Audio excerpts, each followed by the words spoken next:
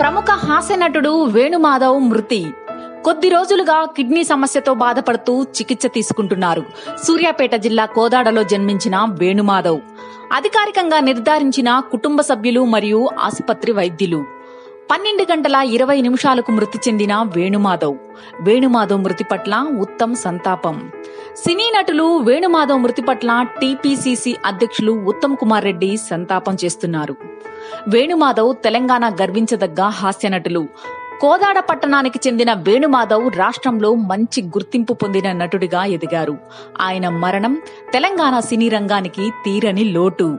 ఆయన ఆత్మకు శాంతి చేకూరాలని భగవంతుణ్ణి ప్రార్థిస్తున్నాం.